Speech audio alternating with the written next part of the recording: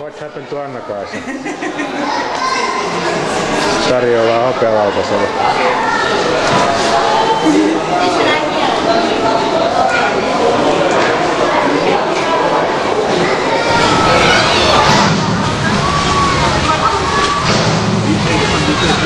Akustinen puhelin.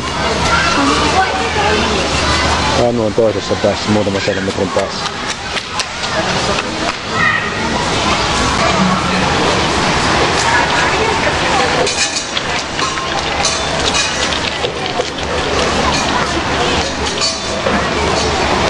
we'll have a lot for you.